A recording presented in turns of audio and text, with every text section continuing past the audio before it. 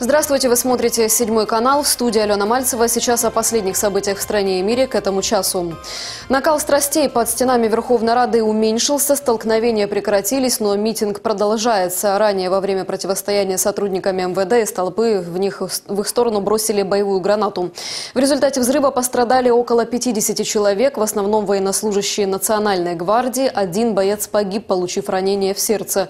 Есть пострадавшие и среди митингующих, четверо раненых в тяжелом тяжелом состоянии. Всего в стычках ранения получили около 100 человек. Бросавший взрывное устройство задержан.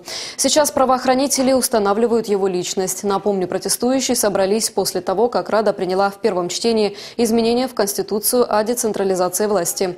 Демонстранты посчитали, что они уже закрепляют положение об особом статусе Донбасса. Напомню, они вступят в силу только после ухода агрессора с этих территорий и будут действовать временно.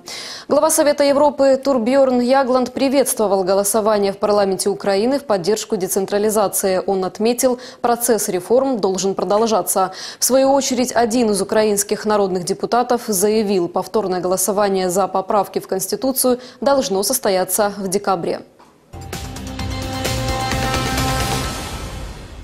В Испании борются с лесными пожарами на северо-западе. Огненная стихия уже уничтожила 200 гектаров леса и вплотную приблизилась к жилым домам. Многие местные жители были вынуждены эвакуироваться.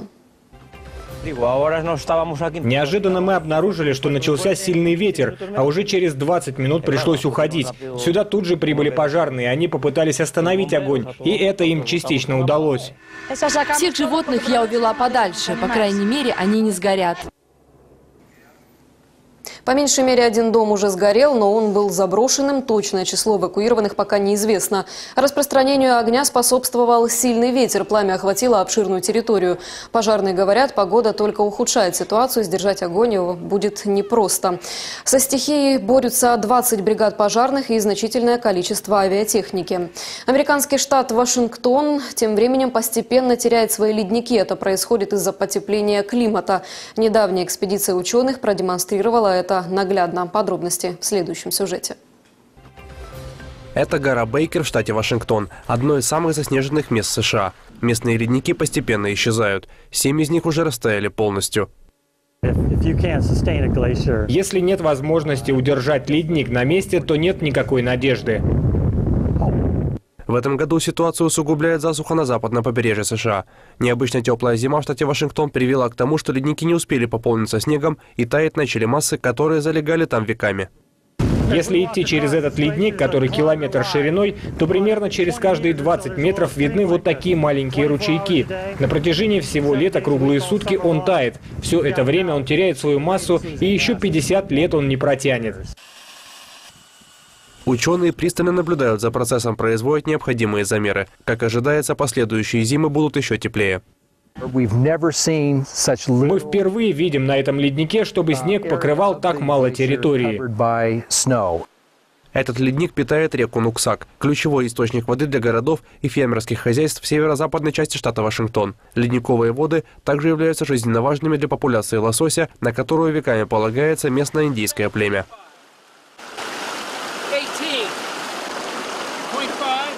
Что касается воды, думаю, в будущем нам придется ее запасать.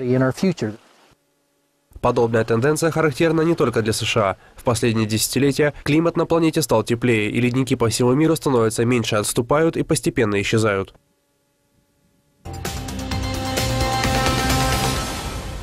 Спортивном комплексе «Диадора» в Рио-де-Жанейро открыли новый велосипедный трек. Его соорудили в преддверии Олимпиады 2016 года. На церемонии присутствовали спортсмены, глава организационного комитета Олимпиады в Рио и мэр города, который сам испытал новый спортивный объект.